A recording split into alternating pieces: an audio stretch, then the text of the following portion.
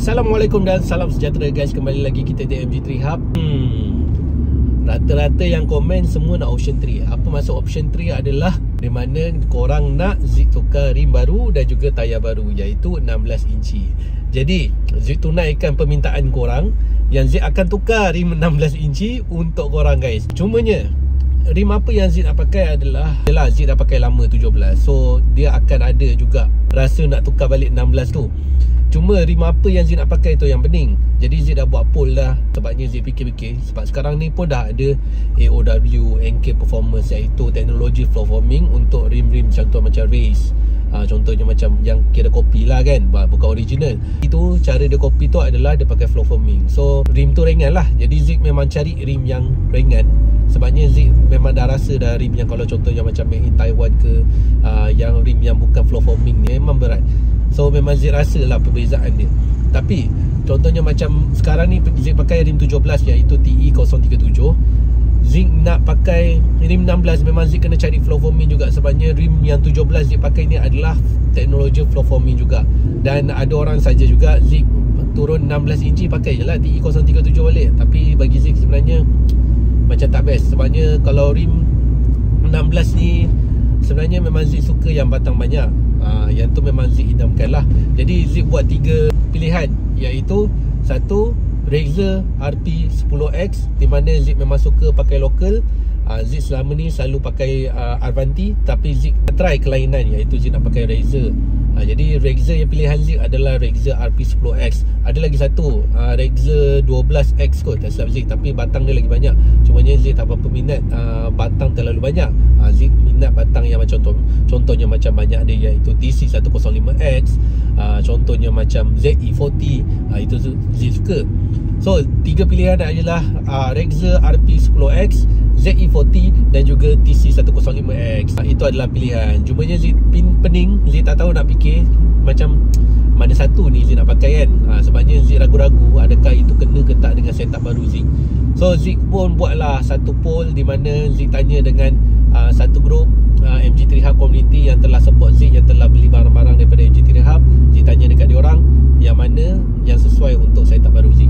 So rata-rata semua memilih Untuk Zik pakai Razer RP10X So RP10X dah pilih Warna apa pula yang Zik perlu pakai? Ha, Itu jadi satu persoalan juga. Bab pemilihan warna tu uh, Mula-mula Zik cakap Takkan nak pakai warna hitam. Warna hitam ni bagi Zik sebenarnya Bila pakai rim 16 Dia akan nampak rim tu kecil. So Zik rasa macam dia tak Tak nampakkan satu outstanding lah Untuk kereta Zik Jadi Zik ada dua pilihan. Iaitu Zik nak pakai gunmetal grey Ataupun Zik nak pakai bronze. Bila Zik tengok balik bronze je Ush Lawanya bronze dia Bronze dia tak macam Race TE37 ke? Dia tak macam bronze Orang cakap light gold ke? Dia tak macam tu. Dia macam copper yang Gelap-gelap sikit. Dia pun macam Tak ramai orang pakai ni. Apa kata Why not lah Zik pakai kan? Untuk Zik test sendiri Setup baru Zik Walaupun harga dia pun modal dia kasar Kalau korang nak tahu pun Harga dia 2,400 lah Untuk uh, standard rim Razer ni. Masuk pula bahagian tayar Tayar ni okey Kalau korang nak tahu sebenarnya Zik ambil keputusan untuk swap rim ni dengan tayar Bersama dengan Shaysonic uh, Shaysonic sekarang dia pakai rim iaitu voice liner Lepas tu dia pakai tayar tu sebenarnya Zik nak Tayar iaitu AD09 ha. Oh, Zik tak pernah pakai sebenarnya semi slick Paling slick pun yang pernah Zik pakai adalah Maxxis Vitra Pro lah.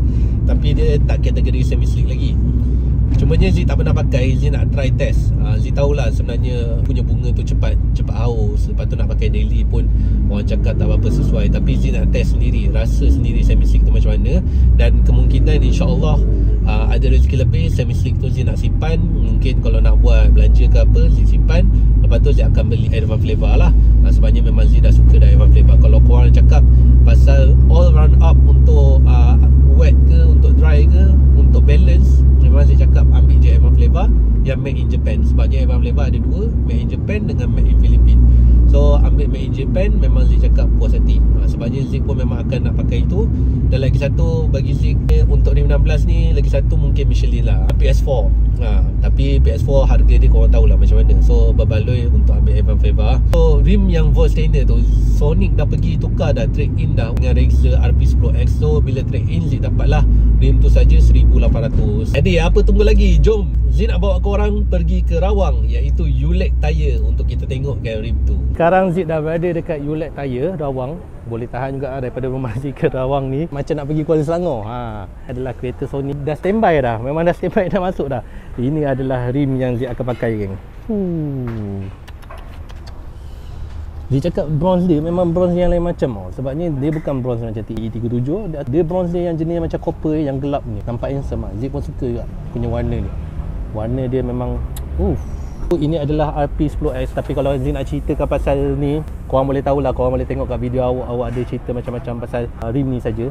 Yang bestnya Memang dia local Dia buat di Malaysia. Saya ada surat bandak kat dalam tu. Ha, Yang tu yang bestnya Zin suka dengan Razer Flow form Ringan. Zee lupa nak cakap dengan korang. Okay untuk rim ni 16 ni Cakap-cakap pasal tukar rim Lupa pula cakap pasal spek. Spek dia adalah 7JJ ET42 ha, So dekat dalam surat barat tu Tak ada tulis dah Dah 16 So Zee pakai Avanova 205 45 16 Yang dia tak sangkanya Ya ada lah Yang mahal. Tayar apa? Menggigil kau kan Owner sampai menggigil tangan dia Nak tahu harga tayar ID19 ni. Yang ni untuk 16 20545 20545 ni dia special sikit Special size. Biasa 19550 19555 Yang ni harga dia Untuk 20545 16 550 ringgit. Satu biji. Satu biji eh geng 550 So kalau dah 4 hmm, Pandai-pandai kira lah jadi rim ni pun saja harga dalam market 2400. Memang jackpot lah Zid dapat swap dengan Sonic.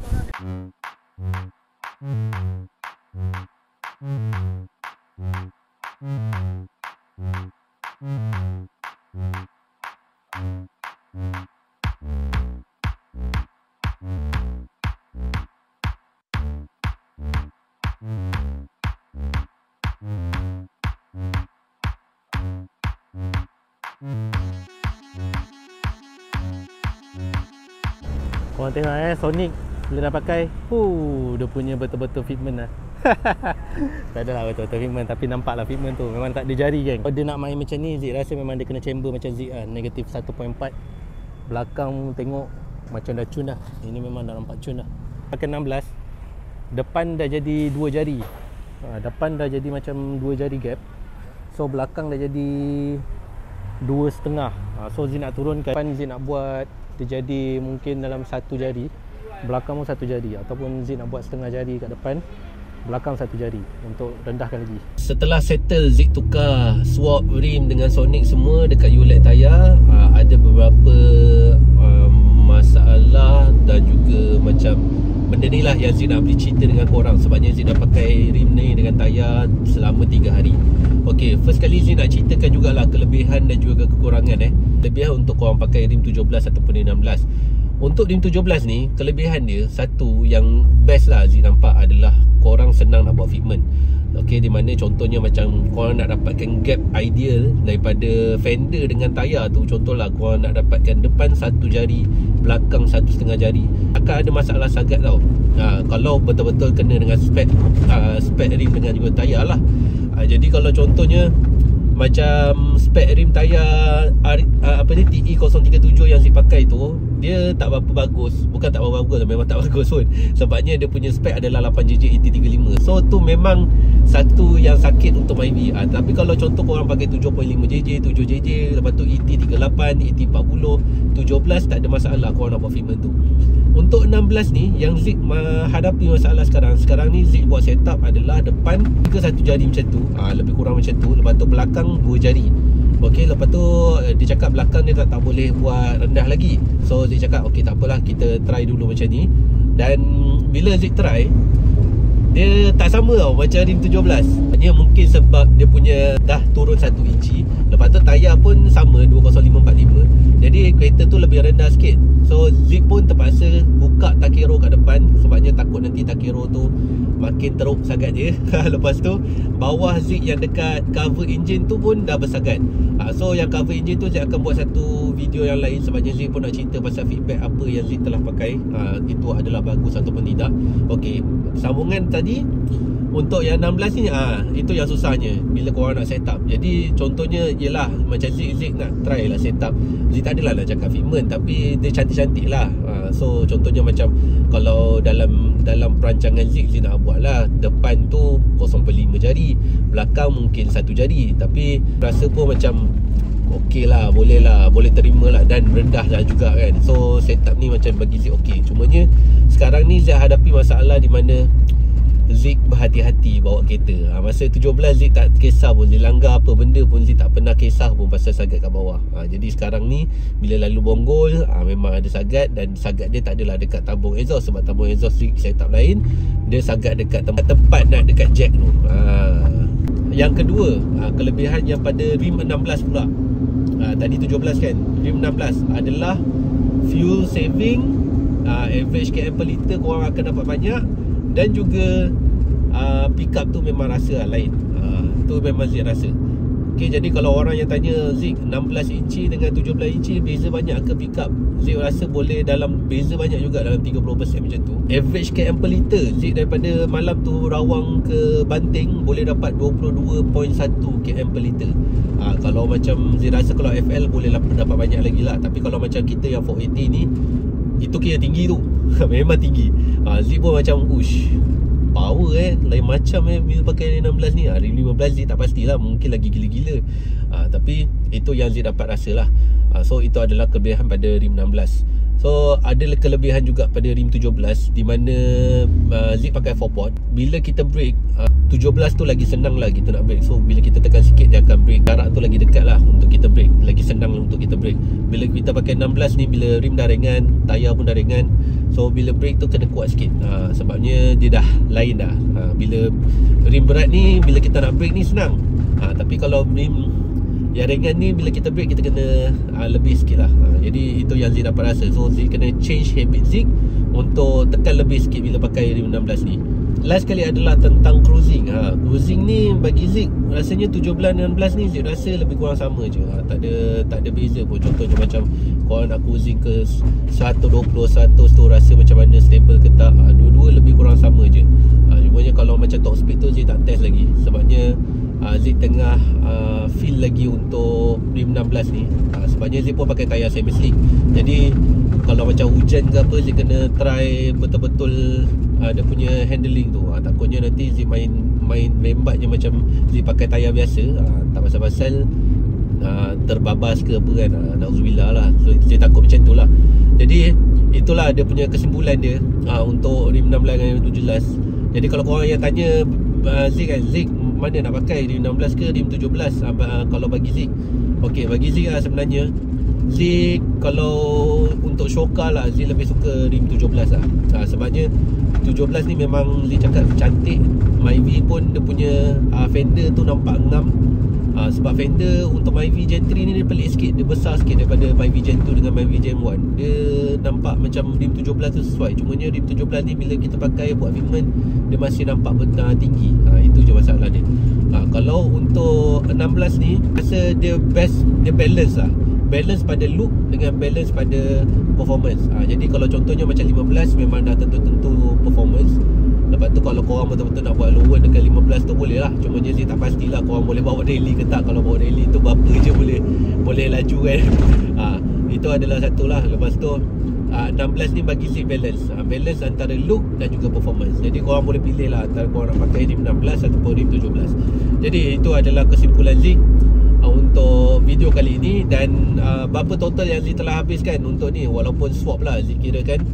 Uh, tayar 550 satu biji. Rim 2400 so total, total dalam 4700 lah. Total 44 uh, so Zik rasa lagi mahal daripada 17 Zik dengan tayar.